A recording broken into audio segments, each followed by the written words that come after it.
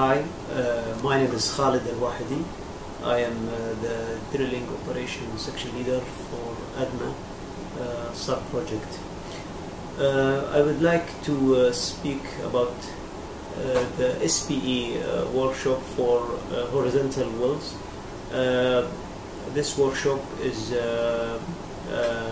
organized by the SPE and so many uh, companies are contributing on this event, uh, starting from uh, uh, operator companies such as uh, Adma Opco, ZADCO, and Al Hosn Gas, um, and other operators out of the, out of UAE, such as Saudi Aramco.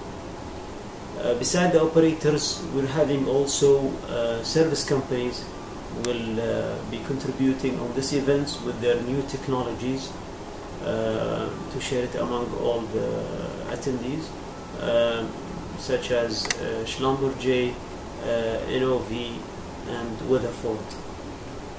Uh, we believe in, by having this combination between operators and service companies, we can have a, a good mixture between the, the technology and the application of this technology on the field.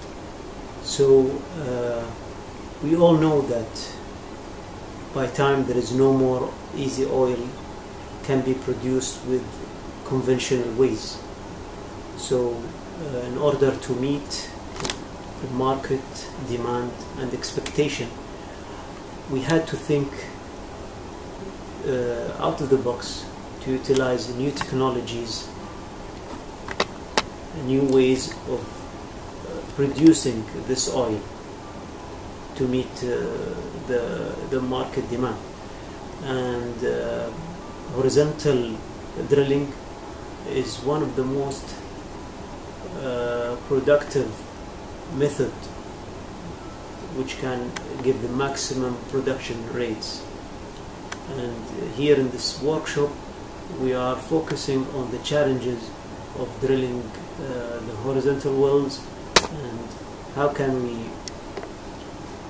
implement new technologies to reach to the maximum out of this horizontal wells.